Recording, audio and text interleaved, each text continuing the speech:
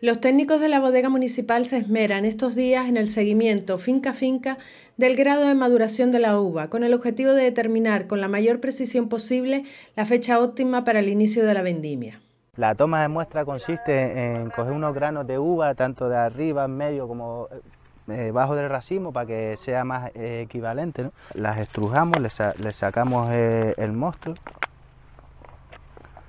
de la uva, así artesanalmente. Ya esta es una variedad de tintilla que ya se aprecia hasta el mismo color ya que desprende el ollejo. Después cogemos este aparato de refractómetro que convierte el azúcar en, el grado de alcohol probable, probable ¿no? que es el que nos va a decir más o menos cuándo sería la vendimia.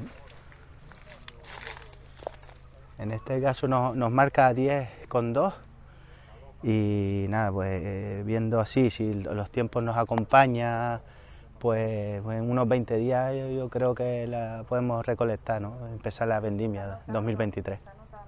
En el proceso colaboran los propios viticultores, que cuidan con esmero su producción, sabedores de que de ello depende la calidad final de los vinos señorío de Agüime.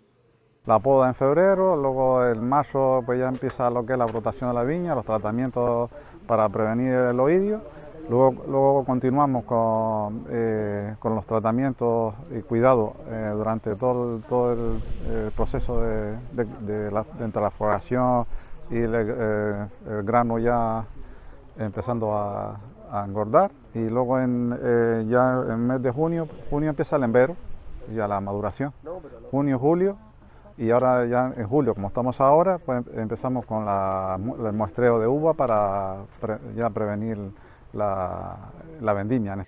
La uva recolectada será enviada a la bodega municipal para la elaboración y posterior embotellado de los vinos señorío de Agüimes en sus distintas variedades, unos caldos que no cesan de recibir premios a todos los niveles. El último de ellos, el obtenido esta misma semana en la 27 edición de la Cata Insular de Vinos de Gran Canaria, con la medalla de plata para el vino blanco Señorío de Agüimes, correspondiente a la cosecha 2022 un nuevo reconocimiento a los hombres y mujeres del municipio que se esfuerzan a diario por conservar el cultivo tradicional de la vid en estas latitudes. Es muy importante la labor, el esfuerzo, la dedicación que dedican los viticultores y viticultoras de Agüime para conseguir una materia prima excelente y así después con la labor de la bodega se conseguirán unos caldos o unos vinos de muy buena calidad.